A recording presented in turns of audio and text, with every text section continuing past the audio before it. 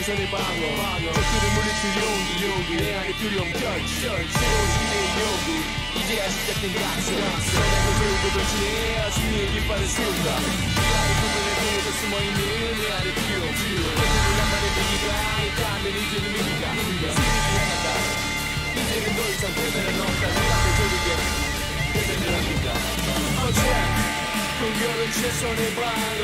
어제 내 안에 적을 무찔러 어택 공격은 최선의 방어 어택 승자는 누리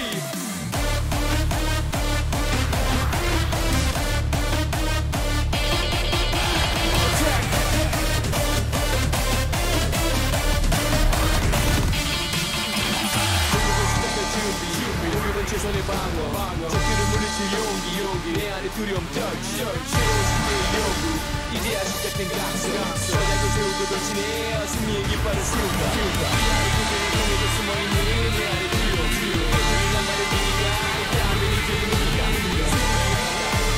이제부터 이상 불가능 없다 내가 공격은 최선의 방어 어차피 내 안에 적은 유치